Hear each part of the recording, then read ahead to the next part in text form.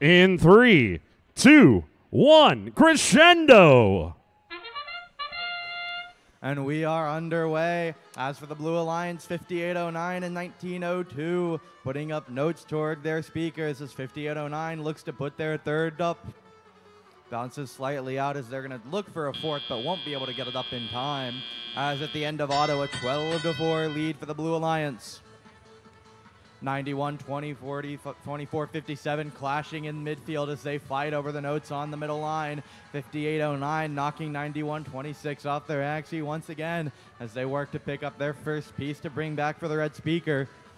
76-62, the three-ring circuits with their shoot here pool looking to block away all of these attackers against the subwoofer as 1982 forced to miss out on one as the three ring circuits doing their best to stay in the way as they are able to knock away another. On the Red Alliance, the Silverhawks looking to score up all of these notes on the ground. 53-12 Lobotics back once again for the Red Alliance to put up another note.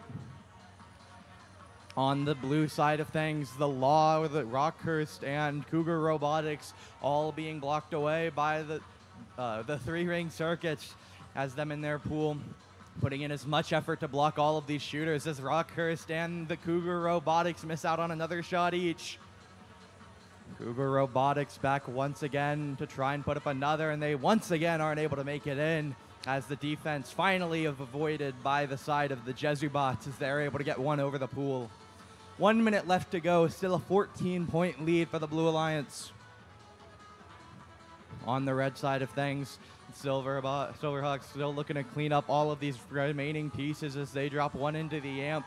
Lobotics put one toward the speaker as the Silverhawks look to get their last note on their side up into the speaker, and it goes good into the amplified speaker.